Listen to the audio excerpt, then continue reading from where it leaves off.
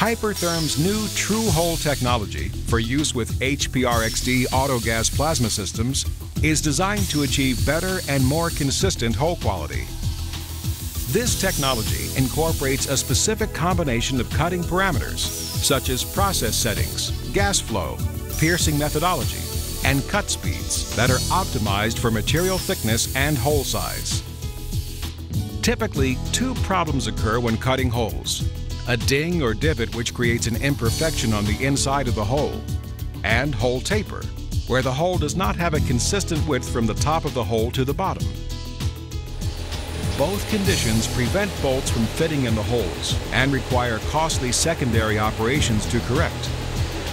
But with Hypertherm's proprietary True Hole technology, both problems are eliminated automatically, resulting in bolt-ready holes without operator intervention or additional secondary operations.